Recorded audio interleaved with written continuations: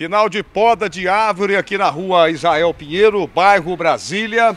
Nós estamos de volta no local aqui porque aqui aconteceu o seguinte: essa árvore aqui trazia perigo para a dona Vilma, que reside ali, exatamente na, naquela casa ali.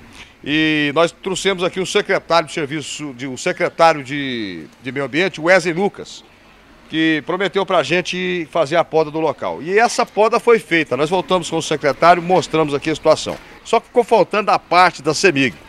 Eu estive aqui cobrando da CEMIG, então, que viesse aqui ao local e fizesse, então, esse trabalho que a CEMIG já executou.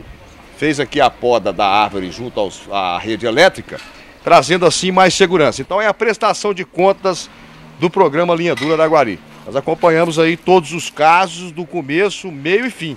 E se fez o serviço, por que não mostrar? Então a CEMIG agora, nessa situação aqui, está aqui com a TV Vitoriosa. Dona Vilma contou aqui pra gente, vai preparar até um churrasco qualquer dia aqui, né, Dona Vilma? Vai convidar a gente pra comer uma carne aqui, só pecar uma carninha aqui, né?